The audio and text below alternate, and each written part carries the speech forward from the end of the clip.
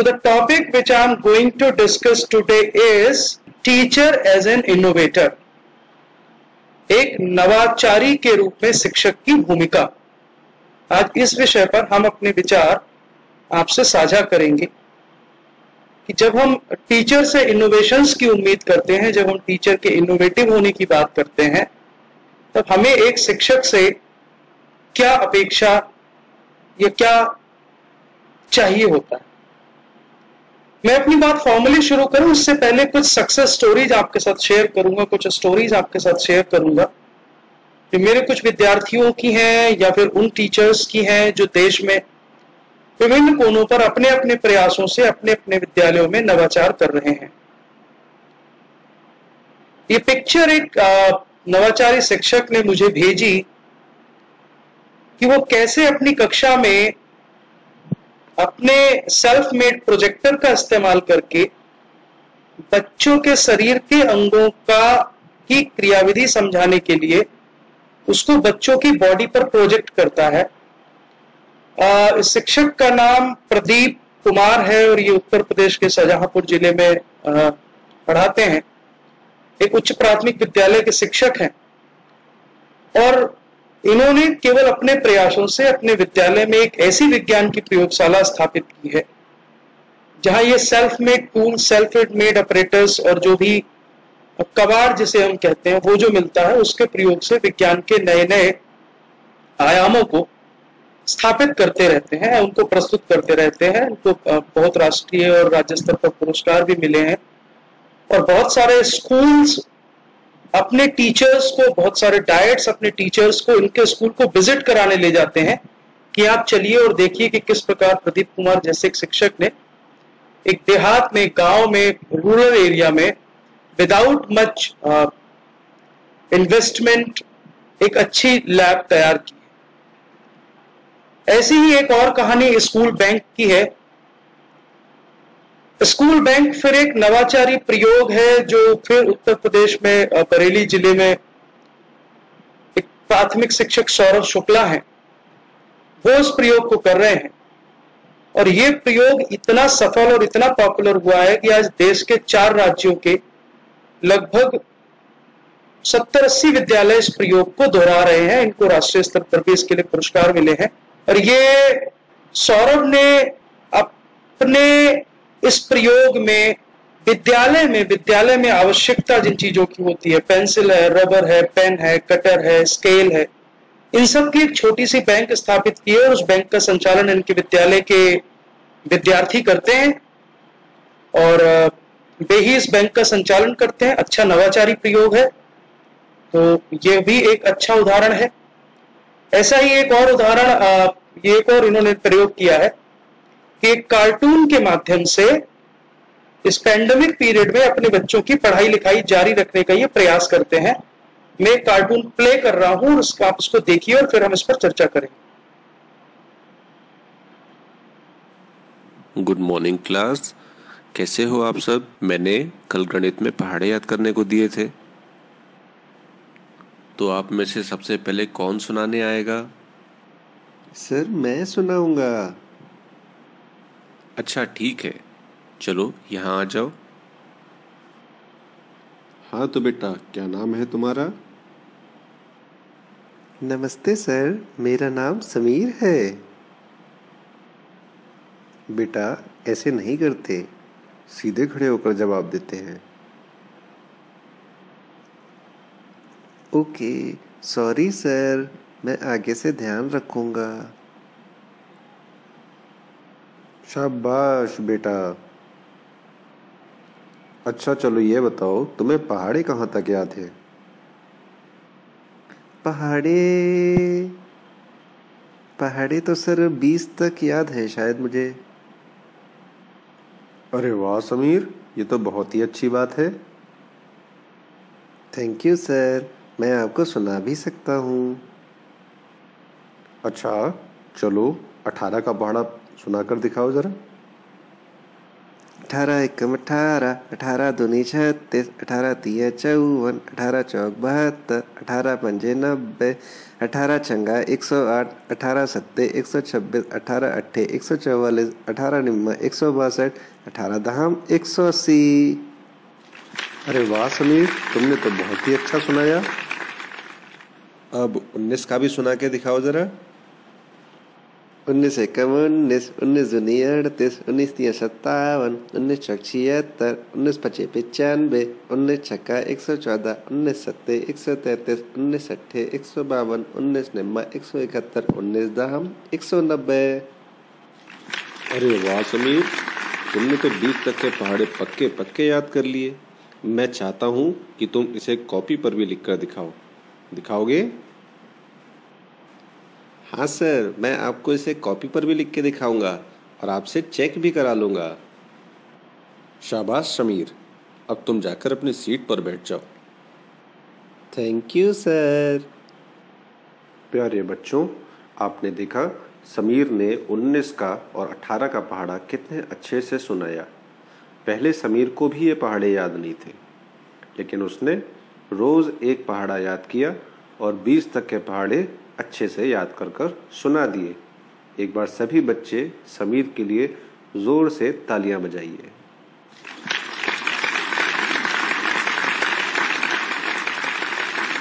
अरे बस बस।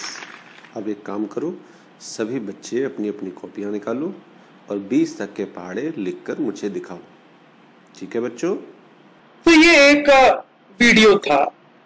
ऐसे ही ऐसा नहीं है कि कार्टून हम नहीं देखते, कार्टून हम प्रयोग नहीं करते, लेकिन स्थानीय आवश्यकताओं के अनुरूप स्थानीय भाषा में अपने विद्यार्थियों की मदद के लिए जब कोई विद्यार्थी इस तरह से प्रयोग करता है तो ये प्रयोग क्या नवाचार नहीं होते? एक और प्रयोग की मैं उदाहरण लेता हूँ। बरेली का ही उदाहरण है, वहाँ एक अध्यापिका ने हैंगिंग बुक्स का कॉन्सेप्ट प्रयोग किया।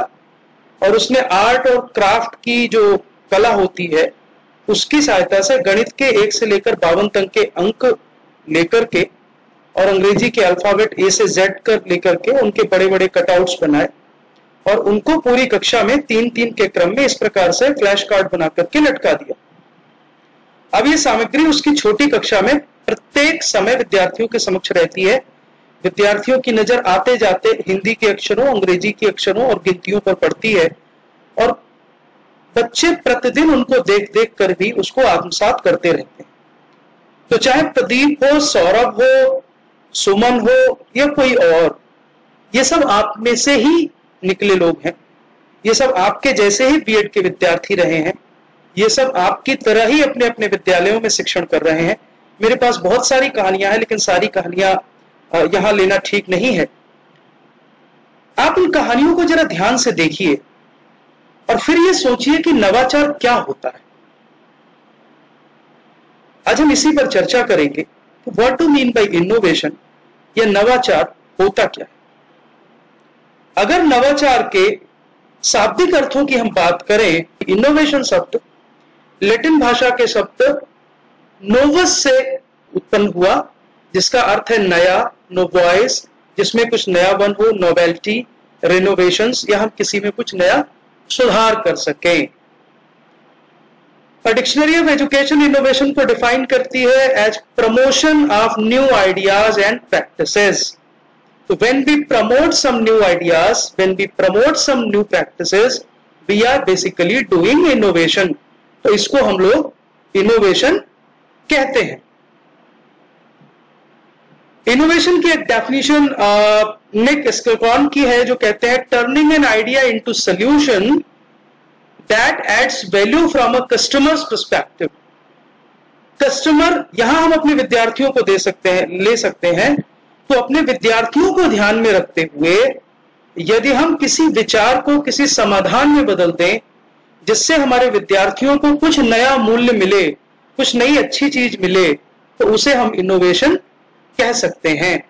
ऐसे ही पॉल स्लोएन की डेफिनेशन है that creativity is thinking something new and innovation is implementation of something new there are two terms creativity and innovation and Paul Sloane and very effectively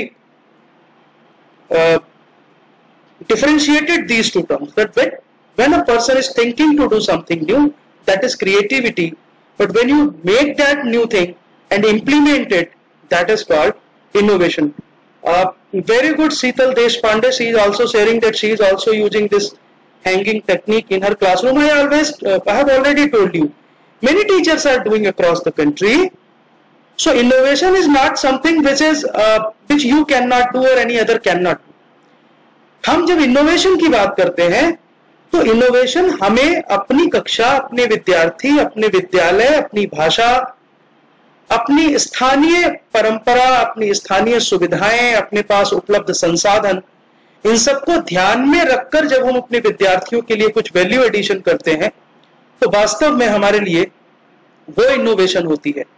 और जब हम टीचर एज एन इनोवेटर की बात करते हैं तो इसकी पहली शर्त है कि टीचर एक इनोवेटर तब हो सकता है जब उसे फ्रीडम टू इनोवेट हो। अर्थात आपको कुछ नया करने की स्वतंत्रता हो। यदि आपको आपके विद्यालय में कुछ नया करने की स्वतंत्रता नहीं है, कुछ नया सोचने की स्वतंत्रता नहीं है, कोई नया प्रयोग करने की स्वतंत्रता नहीं है तो फिर इसे हम इनोवेशन नहीं कह सकते। दूसरा एक टीचर कब इनोवेटर हो सकता है? जब वो कम्युनिकेशन के एक दूसरे के साथ संप्रेषण की उचित विधियों का निर्माण करे, उचित विधियों की खोज करे, तब वो इनोवेटर हो सकता है। Then design activities as per need and capacity of learners. एक अच्छा टीचर, एक इनोवेटर कब हो सकता है जब वह अपने विद्यार्थियों, अपने शिक्षार्थियों की आवश्यकता और क्षमता दोनों को ध्यान में रखकर कुछ क्रियाकलाप बनाए। आप बहुत नई चीज़ें बना सकते हैं, लेकिन यदि आपकी बनाई हुई वस्तु आपके विद्यार्थियों के काम नहीं आ रही तो फिर आपका इनोवेशन आपके लिए है, आपके विद्यार्थियों के लिए नहीं है। इसी प्रकार एक अच्छा टीचर जो एक इनोवेटर होता है, वो समाज के प्रति, समुदाय के प्रति अपनी चिंताओं की, अपने कंसर्न्स की केयर करता है। तो एक अच्छा टीचर जो एक अच्छा इनोवेटर है, उसे फ्रीडम होनी चाहिए इनोवेशन की। वो कम्युनिकेशन के अप्रोप्रिएट मेथड्स डिवाइस कर सके, इसकी स्वतंत्रता उसको होनी चाहिए। वो विद्यार्थियों की आवश्यकता और क्षमता के अनुरूप क्रियाकलापों की संरचना कर सके डिज़ाइन कर सके। और समुदाय की जो चिंताएँ हैं उनको भी ध्यान में रख करके यदि वो आगे बढ़ता है तो वो टीचर एक इनोवेटिव टीचर हम कह सकते हैं। इनोवेशन क्या हो सकता है? ये प्रश्न बहुत लंबे समय से अनुत्तरित तो नहीं कहूँगा, बहुत लंबे समय से इसकी चर्चा होती है कि हम इनोवेशन को में किस किस चीज़ को समाहित करते हैं। और ये चर्चा आज से नहीं हो रही है, कई दशकों से हो रही है। मुझे याद है 1977 में, मैंने किताबों में पढ़ा है कि 1977 में National Council for Educational Research and Training NCERT में एक वर्कशॉप हुई। और उस वर्कशॉप में इनोवेशन में क्या क्या आ सकता है इस पर चर्चा की गई। ये सभी मैंने वहीं से लिए हैं, उस वर्कशॉप की रिपोर्ट से। और उन्होंने कहा कि तंत्र या परिवेश में कुछ नया जो हो, वो इनोवेशन है, जो ऑलरेडी एग्जिस्ट करता है, जो अभी उपलब्ध है, जो आप प्रयोग कर रहे हैं, यदि उससे कुछ बेहतर बना सके, उसमें कुछ सुधार कर सके तो वो इनोवेशन है। इनोवेशन एक डेलिबरेट और प्लान एफर्ट है। इनोवेशन अपने आप नहीं होते, अकस्मात नहीं होते। इनोवेशंस के लिए आपको प्रयास करने पड़ते हैं, आपको नियोजन करना पड़ता है, योजना बनानी पड़ती है, और उसके बाद आप इनोवेशंस करते हैं।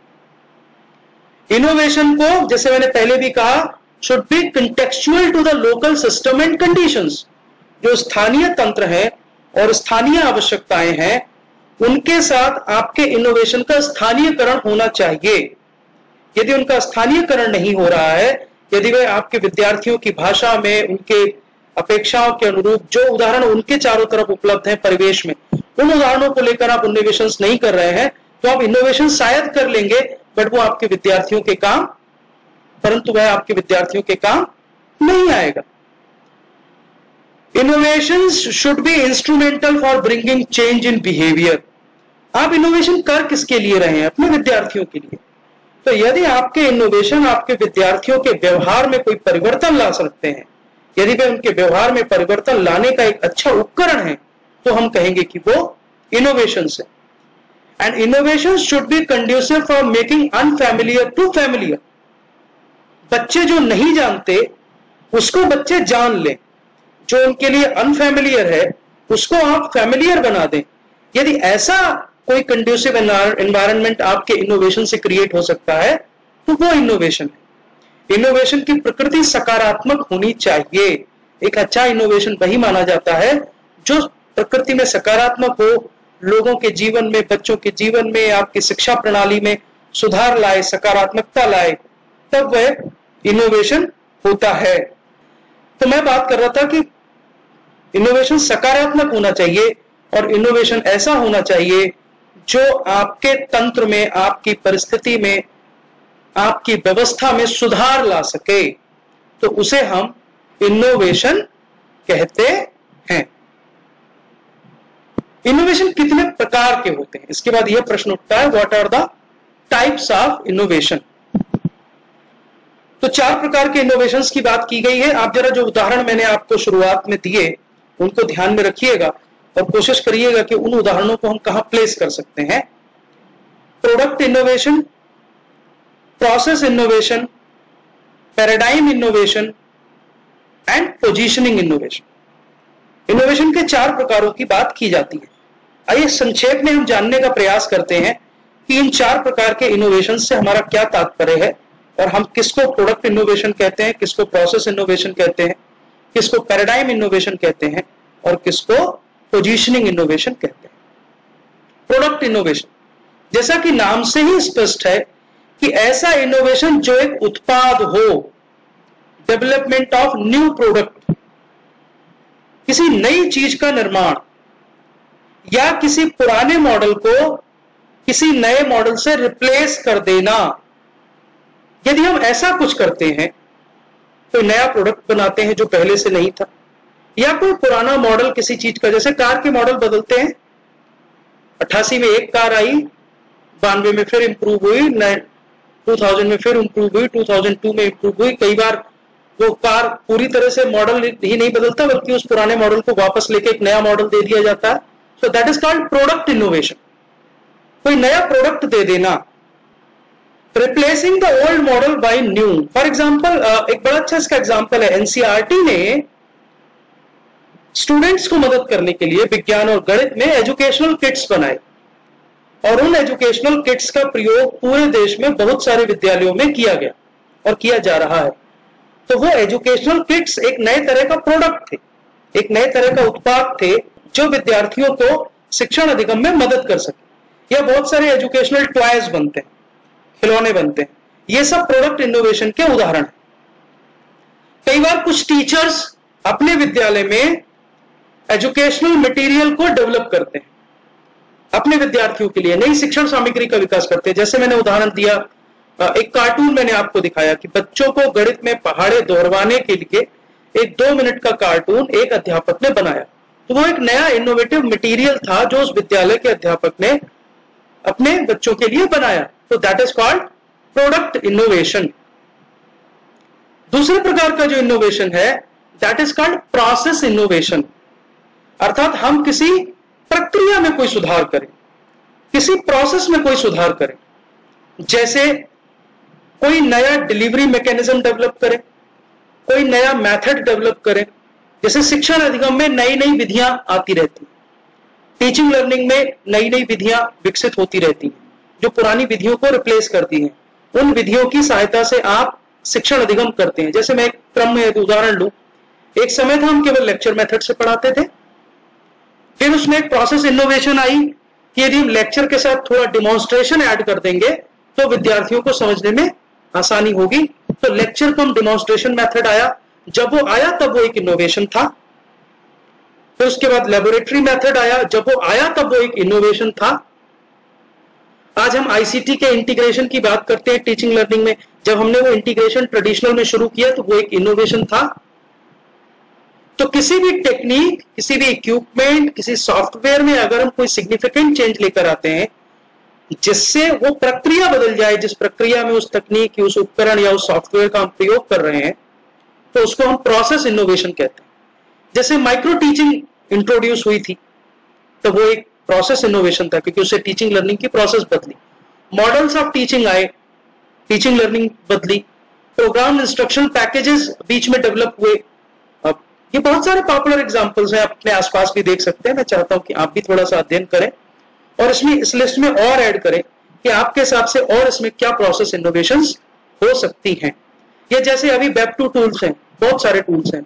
हम वेब कॉन्फ्रेंसिंग यूज़ कर रहे हैं हम फेसबुक लाइव यूज़ कर रहे हैं, तमाम चीज़ें यूज़ कर रहे हैं। कल को हम ये सारी चीज़ें अगर अपने क्लासरूम में ऐड कर दें, कल को अगर ये सारी चीज़ें हम अपने क्लासरूम ट्रांजेक्शन के साथ इंटीग्रेट कर दें तो यह भी एक प्रोसेस इनोवेशन ही कहलाएगा। नेक्स्ट इनोवेशन है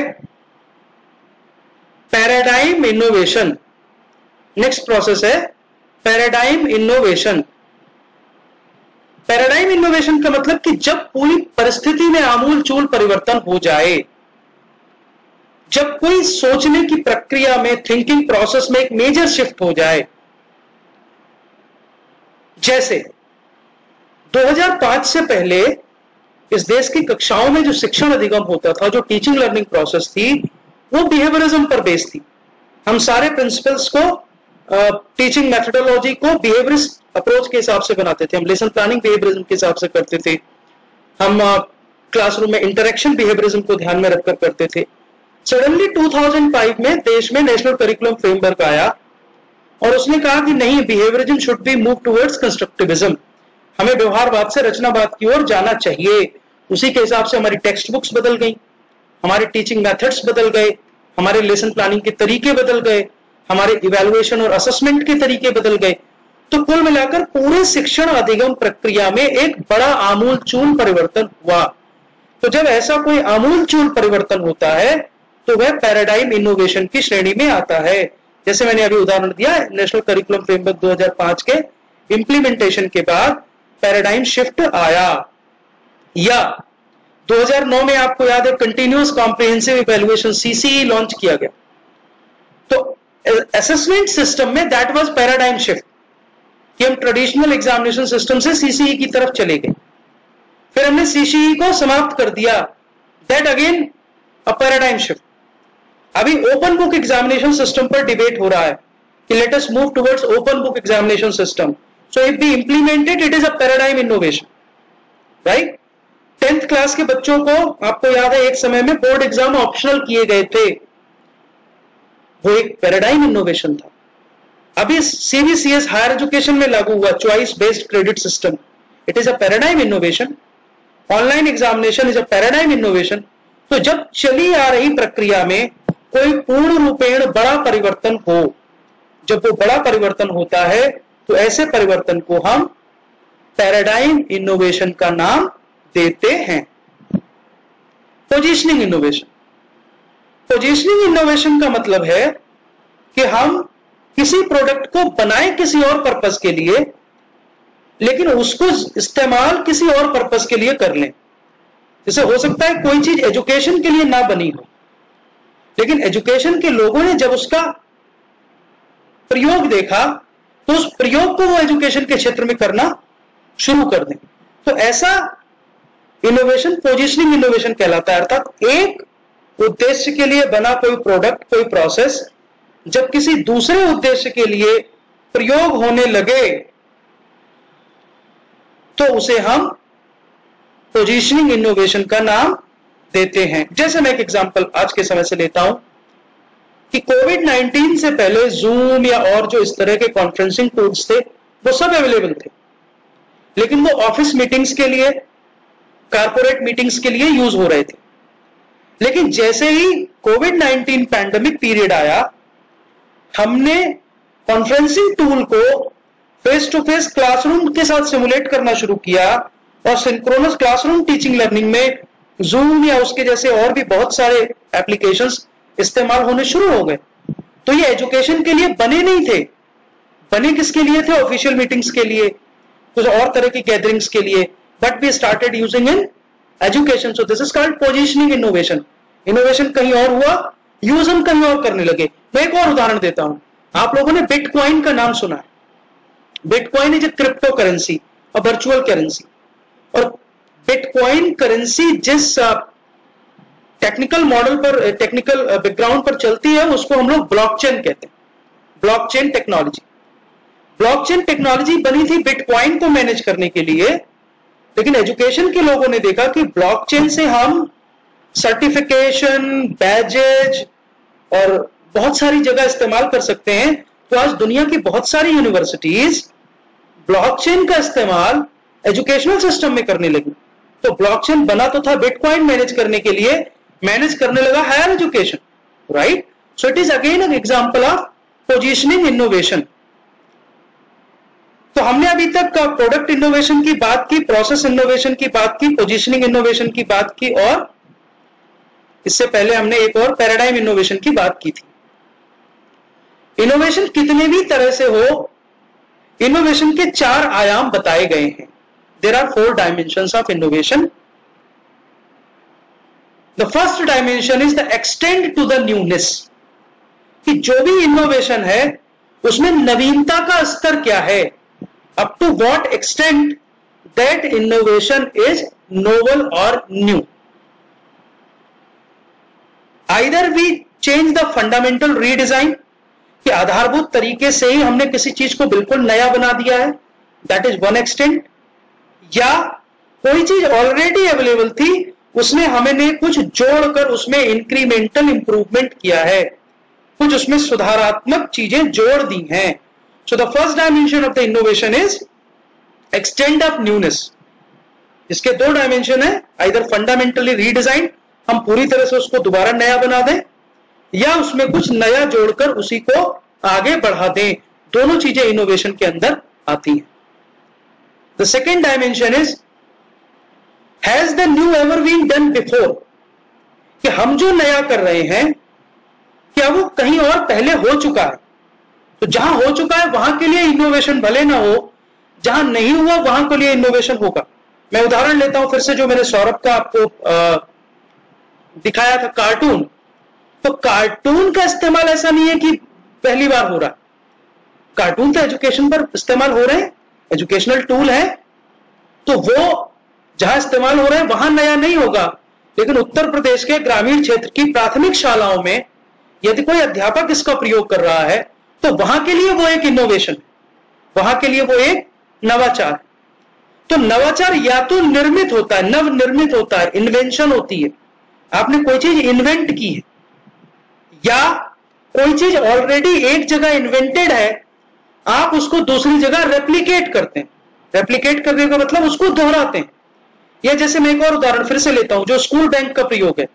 जब सौरभ ने स्कूल बैंक का कॉन्सेप्ट शुरू किया तो वो उसका इन्वेंशन था। लेकिन सौरभ के इन्वेंशन को जब देश के अन्य राज्यों के अन्य विद्यालयों ने अपने विद्यालयों में प्रयोग करना शुरू किया तो वो उसके इन्वेंशन का रेप्लीकेशन था।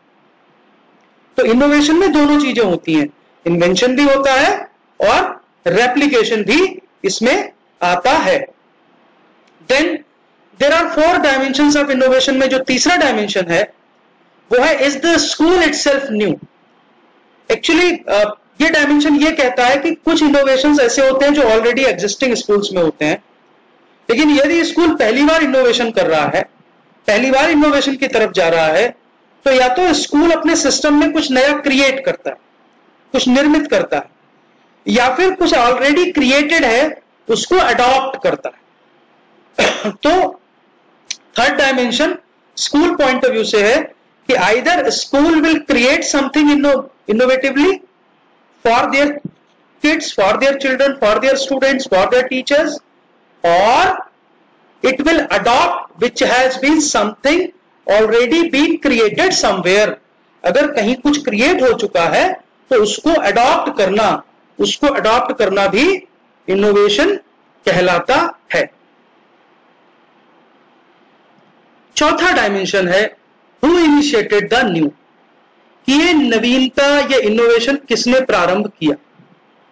किसने प्रारंभ किया? दो तरह के लोग होते हैं जो इनोवेशन प्रारंभ करते हैं।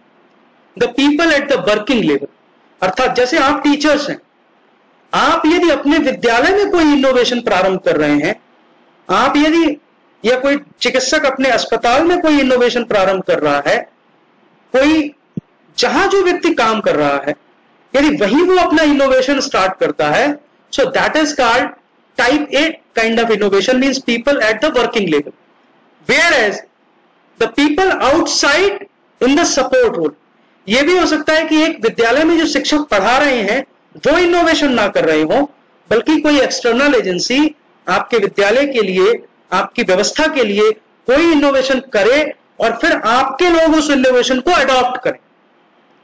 जैसे मान लीजिए ऑनलाइन एग्जामिनेशन पर कोई सिस्टम डेवलप होना है तो या तो किसी विश्वविद्यालय में जो लोग एजुकेशन और एग्जामिनेशन सिस्टम में काम कर रहे हैं वो लोग ऑनलाइन एग्जामिनेशन का कोई मॉडल कोई प्रोटोटाइप डेवलप करें तो वो type A type of innovation होगा। लेकिन अगर कोई एक्सटर्नल एजेंसी किसी विश्वविद्यालय की आवश्यकताओं को ध्यान में रखते हुए उसके लिए एक ऑनलाइन एग्जामिनेशन का पोर्टल या मैकेनिज्म डेवलप करती है और फिर उस विश्वविद्यालय के लोग या उस विद्यालय के लोग, उस व्यवस्था के लोग उसको अंगीकार करते हैं, उसको स्वीकार करते हैं, उसको अडॉप्ट करते हैं तो दैट इज़ टाइप टू तो who initiate this that is either people at working level or people in the outside support roles. Then comes the process of innovation. Process of innovation का मतलब नवाचार कैसे काम करता है? इसकी प्रक्रिया क्या है? हम कैसे नवाचार करते हैं या नवाचार किस प्रकार होते हैं? इसको लेकर के कई सारे क्वेश्चंस हैं। बहुत सारे प्रश्न हैं। लेकिन इस प्रक्रिया के कुछ चरण हैं। पहले हम उनकी संक्षेप में चर्चा करते हैं, फिर एक एक चरण पर विस्तार से बात करेंगे। The first step is identifying the problem the second step is to find out the causes planning strategies and approaches for the solution then trying out और experimentation then evaluating the experiment Then feedback and assessment of the achievement and limitations. Then planning or formatting the modified approach then adopting the modified approach, then retry out, and then adopting the modified approach in a system. तो ये नौ चरण जो है ये कुछ विद्वानों ने नवाचार की प्रक्रिया के बताए हैं समस्या को पहचानना उस समस्या के कारणों को ढूंढना और उसके लिए उपयुक्त समाधान की योजना बनाना, जो समाधानों की योजना बनाई है, उस पर एक्सपेरिमेंट करना, उस एक्सपेरिमेंट के परिणामों का मूल्यांकन करना, उसका असेसमेंट करना, और ये देखना कि इससे हमें क्या लाभ होगी और इसकी क्या सीमाएँ हैं। उसके बाद उस पर फिर कोई अगर मॉडिफाई करना है तो उसकी नियोजन करना मॉडिफिकेशन करना मॉडिफिकेशन को पुनः प्रयास करना, उनको अडॉप्ट करके फिर रीट्राई आउट करना, और रीट्राई आउट करने के बाद जो आउटकम आएगा उसको पूरा सिस्टम जब एक्सेप्ट कर लेता है that is called innovation let us talk about one by वन The first step in the process of innovation is identifying the problem. जब हम आइडेंटिफाइंग द प्रॉब्लम की बात कर रहे हैं, समस्या की पहचान करना तो हमें पहले सोचना होगा एक अध्यापक के नाते कि हमें इनोवेशंस की ज़रूरत क्यों है? Why do we need innovation in our classroom then if we need innovation to solve a problem So whether this problem is new or unique, because if there is a problem and there are already available solutions for the problem, then there is no need to reinvent the wheel. यदि एक समस्या है जिसके समाधान कहीं ना कहीं उपलब्ध हैं, तो फिर हमें उस समस्या के समाधान के लिए फिर से प्रयास करने की ज़रूरत नहीं है यदि वह समाधान हमारी समस्या को हमारे अनुरूप हमारी परिस्थिति में ठीक से समाधान दे पाते हैं then there is no need but if the problem is new and unique you have to identify the problem. Then जैसे मैंने कहा, is there no solution available? क्या कोई समाधान वहाँ उपलब्ध है या नहीं? जो समाधान उपलब्ध है, क्या वे समाधान हमारी समस्या को सुलझाने में सक्षम नहीं है? Are they not able to resolve our problems if these are the questions which we need to answer, and then we decide that, okay, let us do some innovation then we move to the second step So what is the second step? To find out causes, planning strategies and approaches for the solution. तो हमारी समस्या नई है हमारी समस्या का कोई समाधान उपलब्ध नहीं है जो समाधान उपलब्ध है वे हमारी समस्या का ठीक प्रकार से समाधान नहीं कर पा रहे हैं तब हम सोचते हैं ये समस्या क्यों खड़ी हुई इस समस्या के कारण क्या हैं यदि इस समस्या को हमें डील करना है if we need to deal with the problem what could be the possible strategies इसके लिए क्या संभावित युक्तियाँ, रणनीतियाँ हो सकती हैं? We need to list down them then उनमें से कौन सी ऐसी अप्रोच है जो इस प्रॉब्लम को बेहतर तरीके से डील कर सकती है? यह हमारा सेकेंड स्टेप होता है where we decide about the strategy and approach which we want to use for solution and we plan that how we will go ahead third step होता है ट्राइंग आउट और एक्सपेरिमेंटेशन अगर हमने एक से ज़्यादा स्ट्रेटजीज डिसाइड ली है और हमें लगता है कि ये सारी स्ट्रेटजीज हमारी समस्या का समाधान हो सकती हैं तो हमें प्रायोरिटाइज करना होता है कि हम कौन सी स्ट्रेटजी को पहले टेस्ट करेंगे। सारी स्ट्रेटजी को हम एक साथ भी टेस्ट कर सकते हैं और स्ट्रेटजीज को हम एक एक करके भी टेस्ट कर सकते हैं।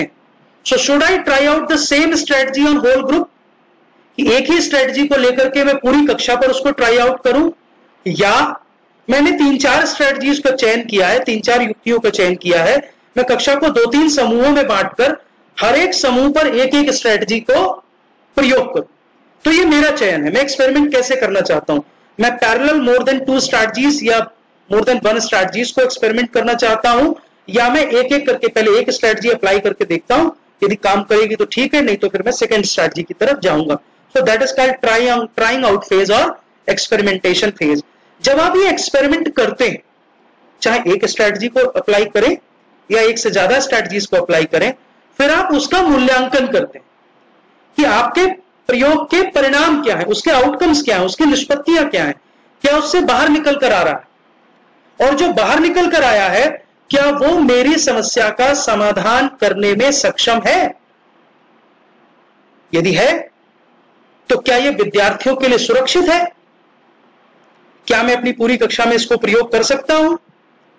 क्या मेरा समाधान मेरी पूरी समस्या का समाधान कर रहा है? या मेरी समस्या के किसी एक भाग, किसी एक हिस्से का समाधान इससे संभव है?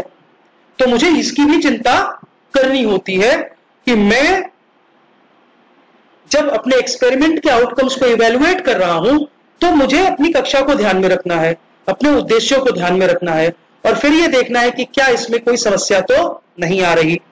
और यदि आ रही है तो फिर हमें जो फीडबैक मिलता है, उसमें हम ये देखने की कोशिश करते हैं कि क्या हमारा समाधान सभी पर लागू होने योग्य है नहीं। यदि सभी पर लागू होने योग्य है भी तो भी क्या मेरे विद्यार्थी समाधान के साथ कंफर्टेबल होंगे? क्या वो आसानी से जब मैं उन पर यह समाधान अप्लाई करूँगा तो वे इसको देख पाएँगे? क्या यह कॉस्ट इफ़ेक्टिव समाधान है कि नहीं? क्योंकि यदि हम अपने ग्रामीण क्षेत्रों के विद्यालयों की बात करें रूरल एरियाज़ में बात करें, जहाँ पर रिसोर्सेस कम है तो हमें कॉस्ट इफेक्टिवनेस भी ध्यान में रखनी होती हो। सकता है एक समाधान बहुत अच्छा हो। कोई इंटरनेट पर या कोई टेक्नोलॉजी टूल बहुत अच्छा उपलब्ध हो, लेकिन अपने विद्यार्थियों तक उसकी पहुँच बनाने के लिए मुझे खर्च ज़्यादा करना हो, या तो मुझे अधिक खर्च करना हो या मेरे विद्यार्थियों को अधिक खर्च करना हो तो वह अच्छा समाधान होने के बावजूद मैं प्रयोग नहीं कर पाऊँगा। ठीक है? और जो समाधान मैंने सोचा है उसकी क्या पॉसिबिलिटीज है उसको इस्तेमाल करने की? और उसमें कौन सी सीमाएँ हैं? उसमें क्या सीमाएँ हैं? उन सीमाओं को दूर करने की चिंता भी हमें करनी होती है। क्योंकि अभी ये प्रोटोटाइप मॉडल पर हम काम कर रहे हैं। जब हम उन लिमिटेशंस को एनालाइज कर लेते हैं, उसके बाद हम फिर से प्लान करते हैं, फिर से फॉर्मेटिंग करते हैं एक मॉडिफाइड अप्रोच तब हम देखते हैं कि हमने जो एक्सपेरिमेंट किया था, क्या उसमें कोई मॉडिफिकेशन की ज़रूरत है? क्या हमें अपने सोल्यूशन को कस्टमाइज करने की ज़रूरत है? Keeping in mind our learners differences मेरे विद्यार्थियों के जो भिन्नताएँ हैं, उनको ध्यान में रखते हुए क्या मुझे अपने सोल्यूशन को कस्टमाइज करने की ज़रूरत है? अर्थात विद्यार्थी के अनुसार उसमें बदलाव लाने की ज़रूरत है या मेरा समाधान सभी विद्यार्थियों पर एक साथ लागू हो जाएगा? क्या जो मॉडिफाइड अप्रोच अभी मैंने प्लान की है, इस मॉडिफाइड अप्रोच को दोबारा प्रयोग करने की ज़रूरत है? कई बार हो सकता है प्रयोग करने की ज़रूरत हो कई बार प्रयोग करने की ज़रूरत ना हो। तो ये प्रश्न है जो इस चरण में आप स्वयं से पूछते हैं एज एन इनोवेटर उसके बाद आप जो भी मॉडिफाई आपने मॉडिफिकेशन तय किए, जो भी बदलाव आपने निर्धारित किए हैं, आप उनको अडॉप्ट करते हैं। और आप कहते हैं let me use the modified solution कि मैं इस मॉडिफाइड सोल्यूशन को प्रयोग करके देखता हूँ। मेरे विद्यार्थियों को मुझे बताना है कि उनके, उनसे मेरी क्या अपेक्षा है। जब मैं कोई मॉडिफाइड अप्रोच इस्तेमाल करूँगा तो मेरे विद्यार्थियों को भी पता होना चाहिए कि why I am using that modified approach फिर इस स्ट्रैटेजी को इंप्लीमेंट करने के लिए इस सोल्यूशन को, इस मेथड को, इस मॉडिफाइड अप्रोच को इंप्लीमेंट करने के लिए मेरी क्या स्ट्रैटेजी होनी चाहिए? कैसे मैं इसको एक विद्यालय में लागू करूँगा? कई बार अध्यापक कोई इनोवेशन करते हैं, पहले वो कक्षा में करते हैं। कक्षा के बाद वो उसको विद्यालय लेवल पर लेकर जाते हैं। विद्यालय से फिर वो अन्य विद्यालयों में लेकर जाते हैं। मैं फिर सौरभ का एग्ज़ाम्पल दूँगा कि उसने जब स्कूल बैंक का प्रयोग शुरू किया तो पहले स्कूल बैंक का प्रयोग एक विद्यालय में शुरू हुआ। उसने लंबे समय तक उस प्रयोग को किया, उसकी कमियाँ देखी, उसने सुधार किए और जब उसे लगा कि मेरा प्रयोग अब कुल मिलाकर के अन्य जगहों पर लागू करने लायक है, तब उसने अपने अन्य साथियों से चर्चा की। कुछ और विद्यालय के लोग उसके साथ जुड़े। उन्होंने अपने विद्यालयों में लागू किया। फिर देखा कि नहीं, ये तो पूरे राज्य में लागू हो सकता है। तो उत्तर प्रदेश राज्य के बहुत सारे विद्यालयों ने उसको अडॉप्ट किया। फिर वह उत्तर प्रदेश के बाहर बहुत सारे विद्यालयों में चला गया। तो इसका मतलब यह है कि मॉडिफाइड अप्रोच हम कैसे अडॉप्ट करेंगे? इसकी स्ट्रैटेजी की भी हमें चिंता करनी होती है। और यदि हमें रिट्राई आउट करने की ज़रूरत है तो क्या हमें रिट्राई करना है? करना है तो किस स्केल पर करना है? क्या हम उन्हीं स्टूडेंट्स पर रिट्राई करें जिन पर हमने पहले किया था या हम नए स्टूडेंट्स पर रिट्राई करें? अगर हम उन्हीं स्टूडेंट्स पर रिट्राई करेंगे तो क्या वहाँ कोई कैरी ओवर इफ़ेक्ट होगा क्या? कैरी ओवर इफ़ेक्ट का मतलब कि जब आप प्रयोग एक विद्यार्थियों पर करते हैं और उन विद्यार्थियों पर दोबारा प्रयोग करते हैं तो पहले का ज्ञान या पहले के प्रयोग के अनुभव दूसरे प्रयोग के परिणामों को कई बार प्रभावित कर सकते हैं। तो उन पर कोई प्रभाव तो नहीं होगा क्या? तो ये रीट्राई आउट के समय हमें सोचना होगा। हमें कितनी समय तक ये रीट्रायल करना है? थोड़े समय तक करना है, लंबे समय तक करना है, और विद्यालयों में करके देखना है। We need to think on all these question and then be adopt the modified approach into the system उसके बाद हम जो रिट्रायल के आउटकम्स है, उनको एग्जामिन करते हैं। उसके बाद मॉडिफाइड अप्रोच को पूरी क्लास पूरे विद्यालय, ये कई बार कई विद्यालयों के लिए अडॉप्ट करते हैं। और ये भी हम चिंता करते हैं कि क्या और विद्यालयों में भी इस मेथड को, इस अप्रोच को प्राप्त या लागू किया जा सकता है। तो ये थी इनोवेशन की प्रोसेस जो कि नौ चरण थे। और मैंने प्रयास किया कि नौ के नौ चरणों को आपको संक्षेप में स्पष्ट करूँ, जिससे कि आप ये जान पाए कि एक टीचर कैसे इनोवेट करता है। Then when we talk about how does a teacher innovate the first thing is that if a teacher wants to innovate he और she should continuously reflect on content context and procedures जहाँ innovation करना है, उस innovation की विषय वस्तु क्या है? उसका परिप्रेक्ष्य क्या है? वो किस परिवेश में, किस वातावरण में, किस कॉन्टेक्स्ट में इनोवेट करना चाहता है? और इसके प्रोसीजर्स क्या है? इसकी प्रक्रियाएँ क्या है? If a teacher wants to innovate he और she should continuously reflect on content context and procedures he or she should develop new strategies new technique and if possible somewhere then they produce new material also and they are not depend upon the traditional approaches and they use new permutation and combinations वही teacher innovate कर पाते हैं जो चली आ रही व्यवस्था से अलग सोचने की और आगे बढ़कर उसमें कुछ नया जोड़ने की हिम्मत कर पाते हैं या इच्छा रख पाते हैं यदि हमें परंपरागत शिक्षण अधिगम में आनंद आ रहा है और हमें लग रहा है कि हमारे विद्यार्थियों के सभी लक्ष्य उसमें पूरे हो रहे हैं तो फिर हम कभी इनोवेशन का नहीं सोचते, हम कभी नवाचार के बारे में नहीं सोचते। यहाँ पर मैं आपका धन्यवाद देता हूँ कि मैंने टीचर एज एन इनोवेटर के डिफरेंट डायमेंशन को प्रस्तुत करने का प्रयास किया है। आप सभी लोग स्वस्थ रहें, सुरक्षित रहें, सभी नियमों का पालन करें, अपने आस पड़ोस पड़ोसियों का ध्यान रखें, घर के बड़ों का ध्यान रखें और शांति पूरे देश में बनी रहे। इसी प्रार्थना के साथ मैं इस कक्षा को समाप्त करता हूँ। आप सभी लोगों ने मुझे सुना।